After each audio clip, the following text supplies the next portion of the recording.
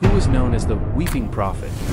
Jeremiah, often referred to as the weeping prophet, is known for his poignant lamentations and sorrowful expressions of grief over the spiritual apostasy and impending judgment of Judah.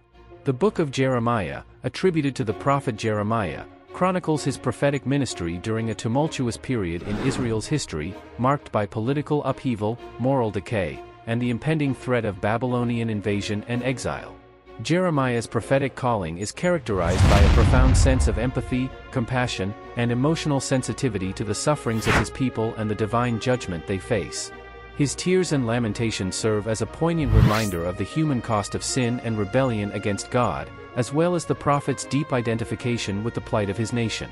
Despite his anguish and despair, Jeremiah remains faithful to his prophetic vocation, proclaiming messages of warning, repentance, and hope to a wayward people.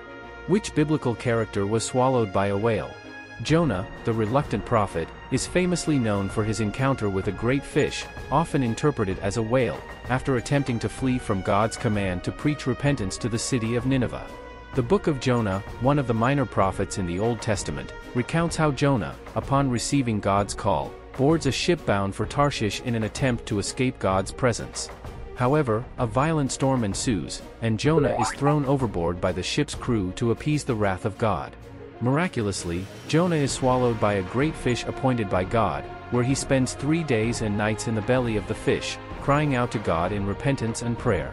After this ordeal, the fish spits Jonah onto dry land, where he obediently fulfills his prophetic mission to Nineveh. Jonah's story serves as a powerful testament to God's sovereignty, mercy, and willingness to extend grace even to the most disobedient of individuals. What was the name of the place where Moses mm-hmm. received the Ten Commandments?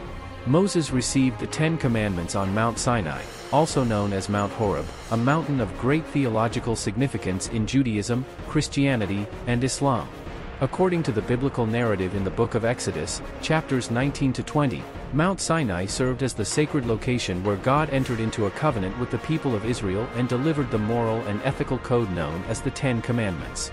The mountain was enveloped in smoke, fire, and thunderous manifestations of God's presence as Moses ascended to its summit to receive the tablets of the law. The giving of the law on Mount Sinai symbolizes God's covenantal relationship with his chosen people, the foundational principles of righteous living, and the establishment of Israel as a holy nation set apart for God's purposes. Mount Sinai remains a potent symbol of divine revelation, holiness, and the encounter between God and humanity. Who was the first martyr of Christianity? Stephen, a devout follower of Jesus and one of the early leaders of the Christian community in Jerusalem, holds the distinction of being the first martyr of Christianity. The account of Stephen's martyrdom is recorded in the book of Acts, chapters 6 to 7. Stephen was chosen along with six other men to serve as a deacon, tasked with overseeing the distribution of food to widows in the early Christian community. However, Stephen's ministry extended beyond practical service to proclaiming the gospel with great boldness and conviction. His preaching aroused the opposition of religious authorities who accused him of blasphemy and false teachings. In his defense before the Sanhedrin, Stephen delivered a powerful speech recounting Israel's history and the prophetic witness to Jesus as the promised Messiah. Enraged by his words, the religious leaders stoned Stephen to death, making him the first Christian martyr. Stephen's steadfast faith, forgiveness of his persecutors, and vision of Jesus at the moment of his death left a profound impact on the early church, inspiring subsequent generations of believers to remain faithful even in the face of persecution and opposition. What was the name of the city where Jesus was born? Jesus was born in Bethlehem, a small town located approximately six miles south of Jerusalem in the region of Judea. Bethlehem holds significant historical and religious significance in Judaism and Christianity as the birthplace of King David, Israel's greatest monarch, and the prophesied birthplace of the Messiah. According to the New Testament Gospels of Matthew and Luke, Jesus' birth in Bethlehem fulfills Old Testament prophecies, affirming his Davidic lineage and messianic identity.